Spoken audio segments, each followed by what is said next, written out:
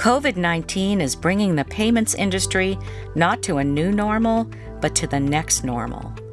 The pandemic has escalated the potential for cashless societies and pushed the industry toward higher levels of collaboration and innovation. According to the World Payments Report 2020 by Capgemini, the increasing usage of non cash transactions is questioning the future of cash as a payment.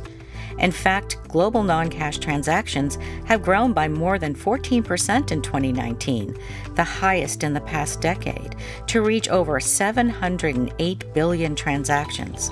However, COVID 19 stunted the expected 14% growth from 2019 to 2020, with the projection now at 8%. Additionally, COVID 19 aftershocks are expected to dampen global non cash volumes, as 2019 to 2023 growth could shrink to 12% from its previous 16% projection.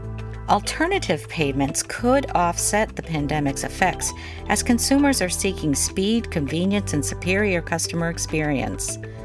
The pandemic, combined with a surge in technology, regulatory initiatives, and behavioral shifts across customer demographics, is accelerating a new payments landscape that requires infrastructure renewal and payments hub transformation new business models and revenue streams that draw in vigorous competition from fintechs, challenger banks, and big techs will be the norm. But these changes will burden the industry with increased risk due to cybersecurity, fraud, and other threats.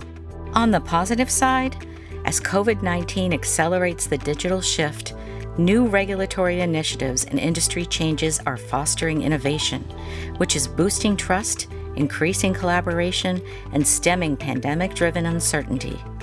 As firms embrace these new changes, they'll become more engaged and aligned with their customers' payments journeys. For more insights from the World Payments Report 2020, visit us today.